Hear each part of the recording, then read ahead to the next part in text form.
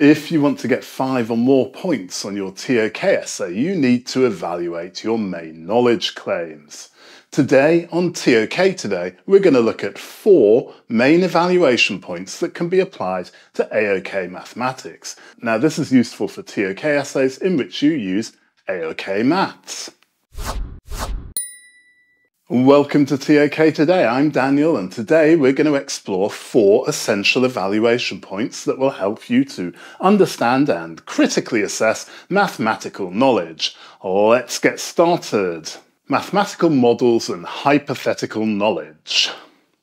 Mathematical models allow us to develop hypothetical knowledge. These models are very powerful tools for predicting and forecasting future events.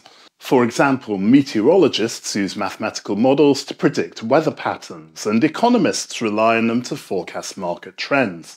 By formulating equations and analysing data, mathematicians can simulate scenarios and estimate outcomes, providing valuable insights that inform decision making across various disciplines and fields. However, the accuracy of these predictions depends on the quality of the data and the assumptions underlying the models. And this highlights the importance of critical evaluation of these models. Evaluation point two, generalizability to other areas of knowledge.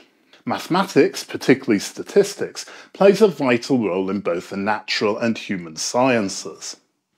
For instance, biologists use statistical methods to analyse genetic data whilst psychologists employ them to understand behavioural patterns. The universal nature of mathematical principles allows for a consistent framework that can be applied across disciplines, facilitating interdisciplinary research and enhancing our overall understanding of complex phenomena.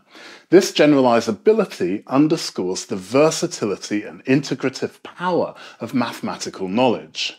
The objective understanding of causal relationships.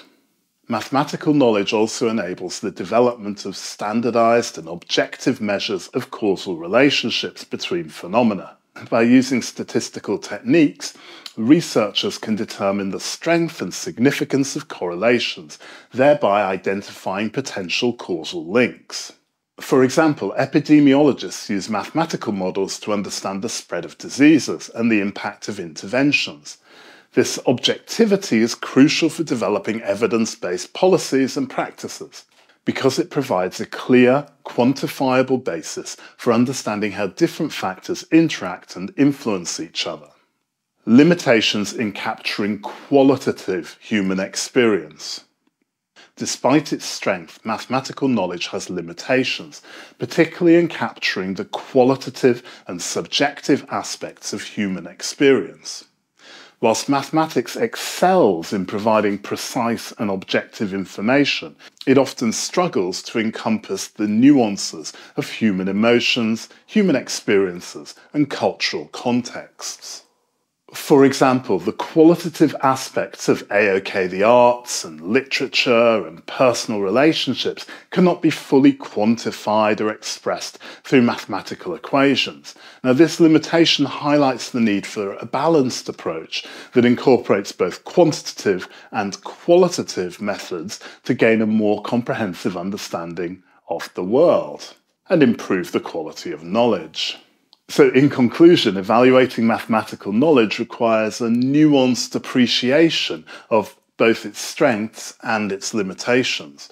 By considering the ability of mathematical knowledge to develop hypothetical knowledge, its generalizability to other areas of knowledge, its role in understanding causal relationships, but its limitations in capturing qualitative human experiences, you can develop a deeper, more critical understanding of maths, and this holistic evaluation helps you to develop more informed and balanced evaluations in your TOK essay.